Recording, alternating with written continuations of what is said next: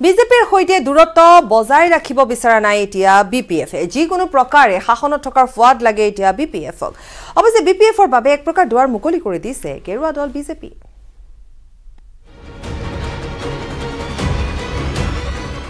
বৰভূমিত fraction নিবিচাৰে বিজেপিয়ে। B P এফৰ বাবে সেউজ সংকেত বিজেপিৰ। আলহী আদৰিবলৈ সাজু সাহসীয় বিজেপি।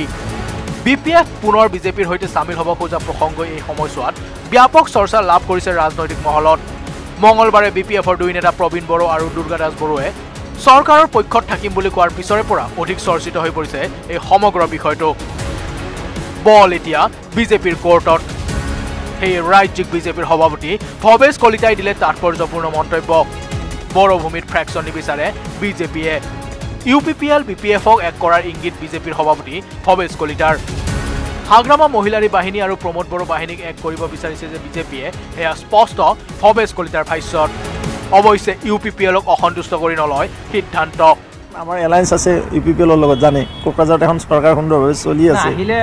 য'ত আমিও আছোঁ কাৰণ আমি ইউ পি পি এলক অসন্তুষ্ট কৰি নহয় কিন্তু। যি হ'ব ইউ পি পি এলক লগত লৈ।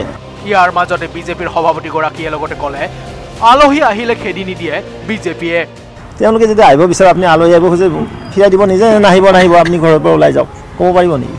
ৰাজ্যসভা নিৰ্বাচনৰ পূৰ্বে বি পি এফে দেখুওৱা উৎসাহক সাৰ পানী দিয়া বিজেপিয়ে বি পি এফক চামিল কৰাৰ ক্ষেত্ৰত সময় লৈছে এটা সপ্তাহৰ।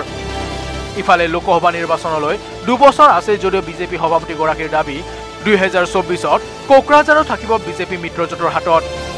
এতিয়া কথা হ'ল ভৱেশ কলিতা তথা বিজেপি নিবিচাৰিলেও বড়োভূমিৰ ৰাজনীতিৰ পৰা ফ্ৰেকশ্যন আঁতৰোৱা সহজ হ'বনে?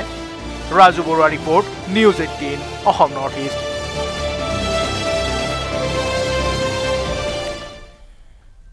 Thengal Kachari স্বায়ত্ত পৰিষদৰ নিৰ্বাচন সম্পন্ন হয় আজি। তিতাবৰত দহটা সমষ্টিৰ ভোটগ্ৰহণ সম্পন্ন হয়।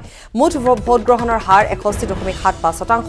এঘাৰ নং ঠেঙাল কমাৰগাঁও সমষ্টিত ষাঠি শতাংশ ভোটগ্ৰহণ শান্তিপূৰ্ণভাৱে সম্পন্ন হ'ল ঠেঙাল কছাৰী স্বায়ত্ত পৰিষদৰ ভোটগ্ৰহণ নাহৰকটীয়াৰ বাইছ নং মেৰবিল পৰিষদীয় সমষ্টিত আঠচল্লিছ দশমিক বাৱন্ন শতাংশৰ ভোটগ্ৰহণ পুনৰ কৈছোঁ ঠেঙাল কছাৰী স্বায়ত্ত পৰিষদৰ নিৰ্বাচন সম্পন্ন হৈছে। তিতাবৰত দহটা সমষ্টিৰ ভোটগ্ৰহণ সম্পন্ন। মুঠ ভোটগ্ৰহণৰ হাৰ এষষ্ঠি দশমিক সাত পাঁচ শতাংশ। এঘাৰ নং ঠেঙাল কমাৰগাঁও সমষ্টিত ষাঠি শতাংশ ভোটগ্ৰহণ শান্তিপূৰ্ণভাৱে সম্পন্ন হ'ল ঠেঙাল কছাৰী স্বায়ত্ত পৰিষদৰ ভোটগ্ৰহণ নাহৰকটীয়াৰ বাইছ নং মেৰবিল পৰিষদীয় সমষ্টিত আঠচল্লিছ দশমিক বাৱন্ন শতাংশৰ ভোটদান।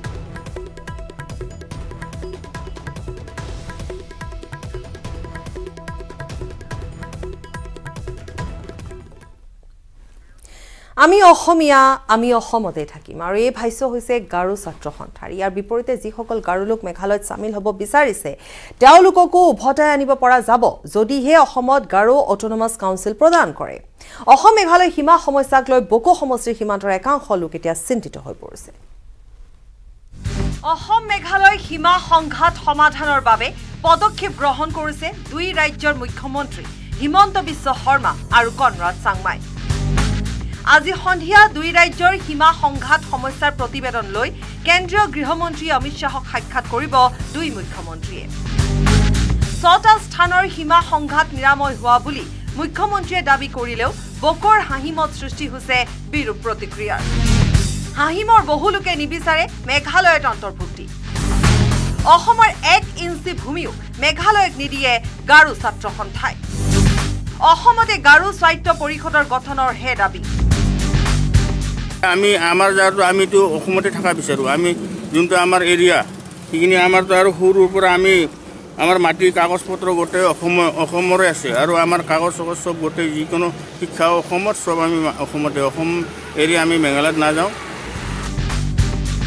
এনেদৰেই দুই ৰাজ্যৰ সিদ্ধান্তৰ বিৰুদ্ধে প্ৰতিক্ৰিয়া প্ৰকাশ কৰিলে গাৰো ছাত্ৰ সন্থাই উল্লেখযোগ্য যে বকো সমষ্টিৰ তিনি অঞ্চল হাঁহিম গিজাং আৰু তাৰাবাৰীৰ বহু বাসিন্দা হ'ব পাৰে মেঘালয়ত অন্তৰ্ভুক্ত এই অঞ্চলকেইটাত অধিকাংশ গাৰো লোকে বসবাস কৰি আহিছে যদিও ৰাভা আৰু নেপালী সম্প্ৰদায়ৰ লোকো আছে। মেঘালয়ত চামিল হ'ব বিচৰা গাৰোসকল অসমতে থাকিব বুলি মন্তব্য কৰি গাঁওবাসীয়ে কয় যে সীমান্তৰ প্ৰতি চৰকাৰৰ চৰম হেমাহিৰ বাবেহে গাৰো লোকসকল মেঘালয়ত চামিল হোৱাৰ কথা কয়। আজিৰ পৰা কিমান বছৰ আগত এইট্টি ফ'ৰত ইয়াতে লাইন আছিল? সেই ৰাণীঘাটত এইট্টি ফ'ৰত লাইন দিয়া নাই। অসম চৰকাৰৰ কিছুমান ভুল আছে। হয়নে নহয়? এইট্টি ফ'ৰৰ লাইন আছিল ৰাস্তা আহিছিল অসম চৰকাৰে একো ৰাস্তা নিদিয়ে একো নিদিয়ে সেইকাৰণে তেওঁলোকে মেঘালয় চৰকাৰে তেওঁলোকক সুবিধা দিল। সুবিধা দিয়াৰ কাৰণে তেওঁলোকে মেঘালয়ক ছাপৰ্ট কৰে। কিন্তু আমাকতো অসম চৰকাৰে দিছে। আমি আৰু অসম চৰকাৰ অসমতে থাকিম। এনেদৰে দুই ৰাজ্যৰ মুখ্যমন্ত্ৰীৰ সমাধান সূত্ৰৰ বিপৰীত মেৰুত অৱস্থান কৰিছে এইসকল সীমান্তবাসীয়ে। পৰৱৰ্তী সময়ত এওঁলোকে কি পদক্ষেপ গ্ৰহণ কৰে সেয়াহে লক্ষণীয় হ'ব। News desk report news eighteen Assam north east আৰু আছে খবৰ সময় এটি বিৰতি।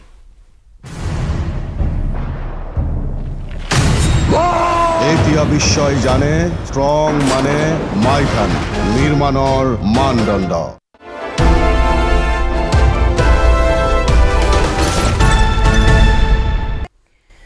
মেঘালয় সীমান্ত সমস্যা দূৰ কৰাৰ বাবে অসম চৰকাৰে লোৱা ব্যৱস্থাক লৈ ৰাজনীতি কৰিছে কংগ্ৰেছে।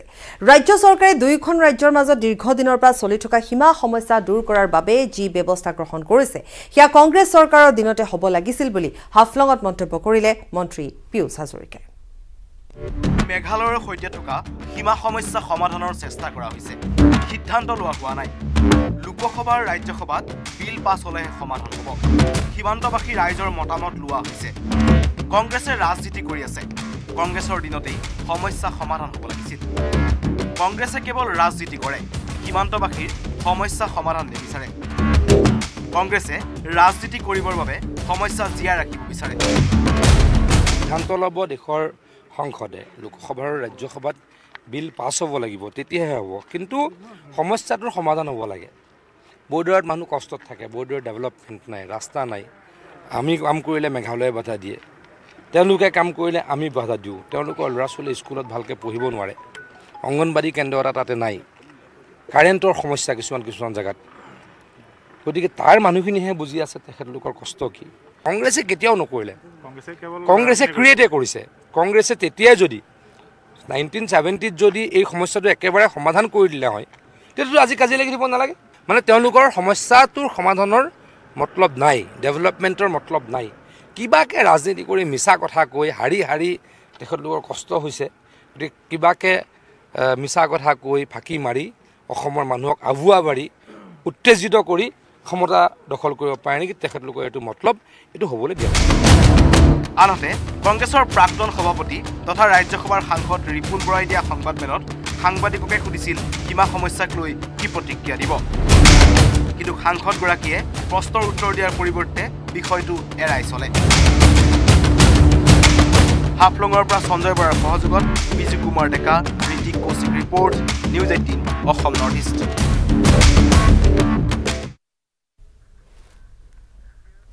মাৰ জনজাতীয় এটি কণমানি শিশু। এই শিশুটিয়ে দৃষ্টি আকৰ্ষণ কৰিছে শিক্ষামন্ত্ৰী ডাঃ ৰণোজ পেগুৰ ৰাজ্যিক কেবিনেটত ভাগ ল'বলৈ গৈ হাফলং চহৰৰ ওচৰৰ মূলহৈ নামৰ মাৰ অধ্যুষিত এখন গাঁৱত এক অনুষ্ঠানত ভাগ লৈছিল ৰণোজ পেগুৱে। সম্বৰ্ধনা অনুষ্ঠানটোত শিশুটিয়ে পৰিৱেশন কৰা অসমৰ জাতীয় সংগীতে আপ্লুত কৰিলে উপস্থিত সকলোকে। মাৰ জনজাতীয় এই কণমানি শিশুটিয়ে অতি শুৱলাকৈ আৰু শুদ্ধ উচ্চাৰণৰ দ্বাৰা অসমৰ জাতীয় সংগীত পৰিৱেশন কৰাত অভিভূত হৈ পৰিল শিক্ষামন্ত্ৰীগৰাকী। হাফলং চহৰৰ সমীপৰ মূলহৈ নামৰ মাৰ অধ্যুষিত এখন গাঁৱত শিক্ষামন্ত্ৰীগৰাকীয়ে এক সম্বৰ্ধনা অনুষ্ঠানত ভাগ লৈছিল।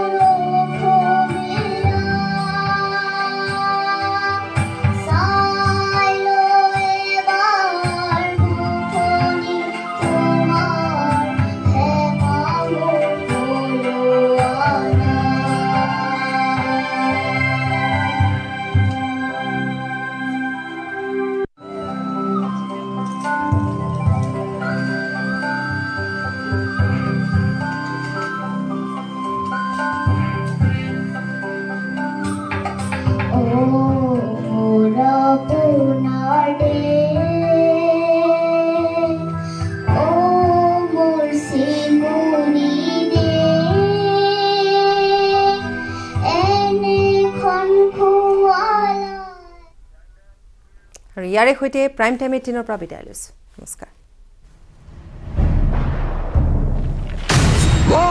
এতিয়া বিশ্বই জানে ষ্ট্ৰং মানে মাইথান নিৰ্মাণৰ মান।